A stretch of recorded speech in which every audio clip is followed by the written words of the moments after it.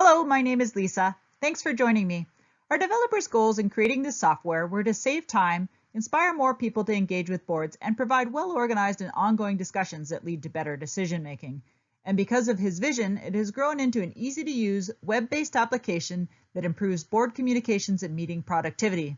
There's no downloading, and it works across all platforms from desktop to smartphone. So let's move on to the LORROS homepage. Within LORROS, each Strata Council is its own unique group that is made up of Strata Council members and property managers. A great thing about LORROS is that Strata managers like yourself can belong to an unlimited number of groups. So now you can manage all of your Strata Council meetings and communications from a single login, ultimately saving you a significant amount of time. As an administrator, you have the ability to adjust voting rights, assign admin access, and submit a title. So we're just getting started and there are a lot of features. To simplify, I thought I'd start with my favorite feature. Discussions. Discussions put an end to the confusing and hard to follow email threads. Here's how it works. Simply click Start a Discussion.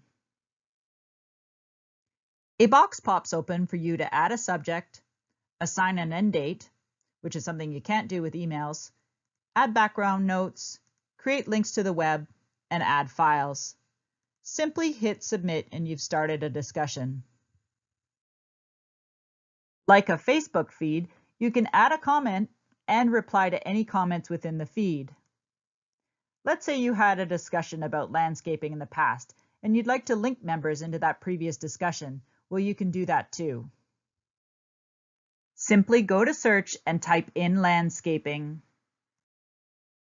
LORROS search engine finds all references to landscaping. Select the drop-down to find a link to copy. So Discussion solves your email problem, but you're probably wondering about running a meeting in LORROS. Let's start an online meeting.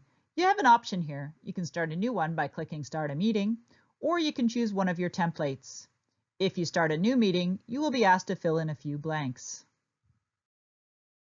I've jumped past the fill in the blank sections to give you an idea of what an agenda looks like.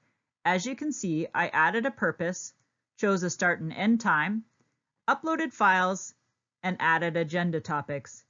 Each member is then notified with a link to the online agenda.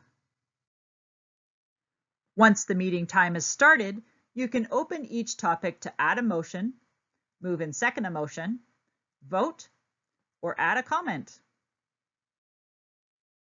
Further inside each topic, you'll find extras like add an action, add a poll, and invite guests to comment.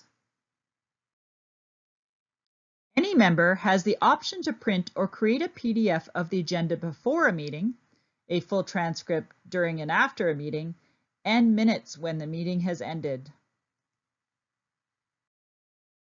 So I've highlighted the basics to get you started. However, I've merely scratched the surface of this easy-to-use web-based application that improves board communications and meeting productivity.